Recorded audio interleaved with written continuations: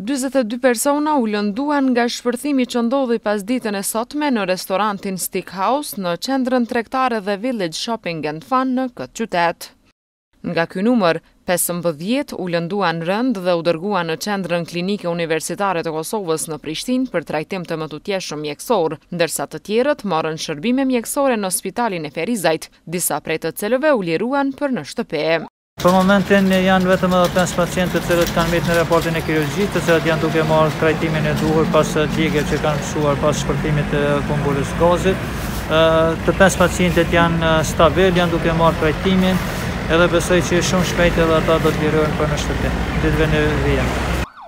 Në mesin e të lënduarve janë edhe dy fëmijë, mirëpo gjendja shëndetësore e tyre është jashtë rrezikut për jetë. Në klinikën emergjente gjithsej kemi 15 të lënduar si pasojë e eksplodimit të bombolës. Për momentin janë 4 të pranuar, 3 në kujdesin intenziv, pas trajtimit të plagëve të djegur në sallën operative, dërgohen për trajtim të mëtutjeshëm në klinikën e mjekimit intenziv qendror, ndërsa një e moshës 20 vjeçare si pasojë e djegjeve të fytyrës, të kokës dhe qafës dhe për shkak të thyrjes së kokës së qafës së femurit dërgohet për trajtim të mëtutjeshëm në klinikën e ortopedisë, ndërsa 10 të tjerë ende qëndrojnë në klinikën emergjente që janë duke u trajtuar nga kirurgët plastik për plagë të djegura të cilat po punojnë në sallën operative. Doktor Avdi Tahiri nga Emergjenca e Ferizajt tha se personat me lëndime më të lehta janë duke u trajtuar në Ferizaj, ndërsa ata me lëndime më të rënda janë dërguar në Qendrën Klinike Universitare të Kosovës në Prishtinë. Shumica janë djegje, ato që janë djegje ma t'rona i kemi transferu thash më herët në QKUK dhe po presim tash gjendjen e tyre me përmisu këtu dhe në gjësha disa me liru në shtëpi. Dyshimet e para janë se e gjithë kjo ka ndodhur nga shpërthimi i bombolës së gazit.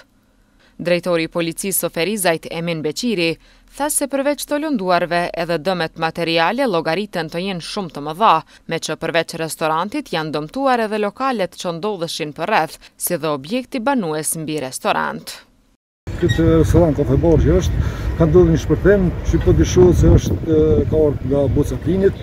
Hetimet janë të vazhdueshme, po si me gjasa është ka të bëjë me plin. Do të thotë me boca e plinit. Gjitha lëndimet tash për tash, informata që i kemi janë nga vendi ku ka qenë brenda, në restoran. Domethënë nuk kemi informata që u lëndu dikush jashtë, apo në lokalet fqinje që janë, apo në banorët më lart. Përveç shqetësimi që kam pa, e patë edhe vetë, ka shqetësime te qytetarët që kanë dëgju shpërthimin dhe kjo është dhe. Ministri në detyrë i Shëndetësisë Armend Zemaj i ka vizituar në QKUK pacientët e lënduar nga shpërthimi në Ferizaj. Sipas Zemajt, e mira e kësaj fatkeqësie është se të gjithë janë në jetë dhe se po marrin trajtimin e duhur mjekësor.